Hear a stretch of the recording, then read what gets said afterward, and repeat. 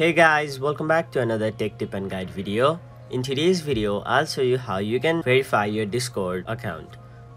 Whenever you create a new Discord account, first of all, you'll have to verify your Discord account or your email in order to send friend requests, join server, and be fully able to use Discord. So, in this video, I'll exactly show you how you can verify your Discord account.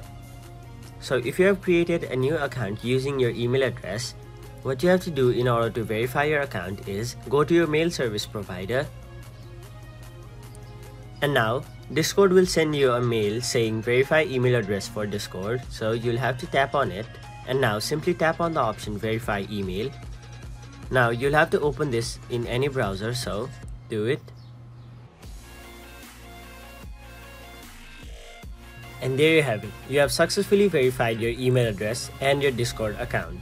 Now Go to your Discord app and now you'll be successfully able to join servers, send friend requests, accept them and be fully able to use Discord. So that is it for this video. Hope this video was helpful to you guys and if it was, please make sure to like this video and subscribe to our channel for more informational and helpful videos like these.